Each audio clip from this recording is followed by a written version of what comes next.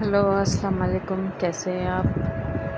आज मैं एक और सूट बना रही हूँ सोचा शेयर करूँ। कटिंग मैंने कर ली है।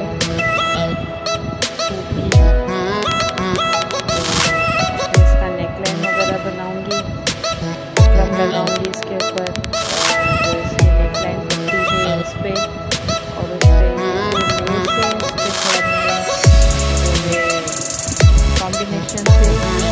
इसको मैं रेडी कर रेडी करने के बाद मैं देखती हूँ कितना रेडी होता है तो मैं आपसे